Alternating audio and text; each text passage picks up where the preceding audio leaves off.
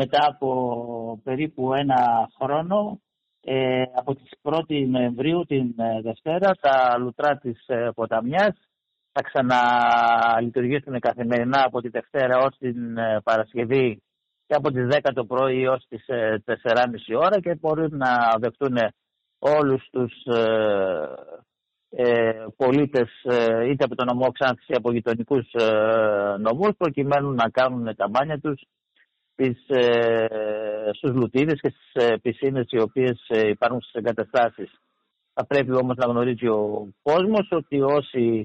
ε, θα επισκεφτούν τα λουτρά θα στηριχθούν αυστηρά τα υγειονομικά πρωτόκολλα, δηλαδή θα πρέπει είτε να είναι εμβολιασμένοι, είτε θα πρέπει να έχουν ένα χαρτί ότι έχουν νοσήσει ή ένα rapid test 24-48 ε, ωρών. Από εκεί και πέρα θα πρέπει να έχουν ένα χαρτί από τον γιατρό ότι τους επιτρέπεται να κάνουν τα λουτρά. Ε, νομίζω ότι